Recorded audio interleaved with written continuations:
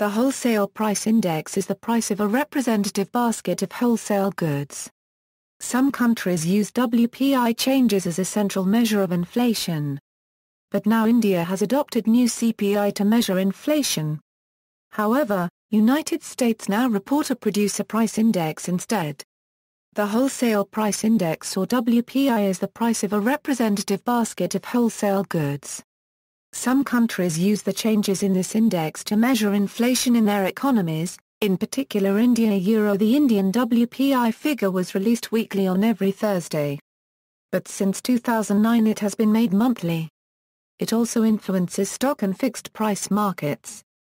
The wholesale price index focuses on the price of goods traded between corporations, rather than goods bought by consumers, which is measured by the Consumer Price Index.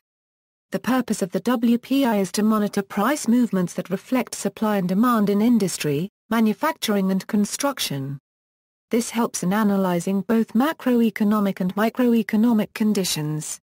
Calculation The wholesale price index is based on the wholesale price of a few relevant commodities of over 240 commodities available. The commodities chosen for the calculation are based on their importance in the region and the point of time the WPI is employed.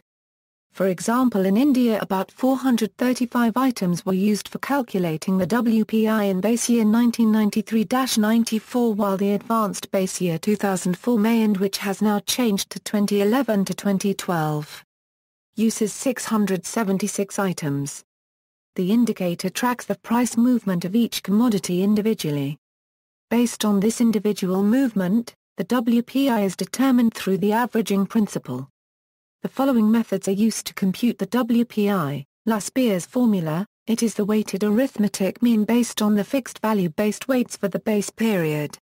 10-day price index, under this method, a euro example price a euro with high intra-month fluctuations are selected and surveyed every 10 days through phone.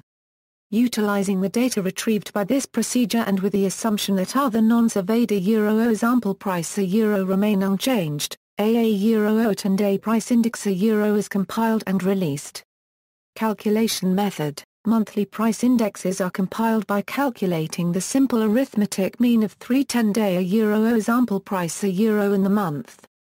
Equals 10-day price index equals, under this method, a euro example price a euro with high intra-month fluctuations are selected and surveyed every 10 days through phone.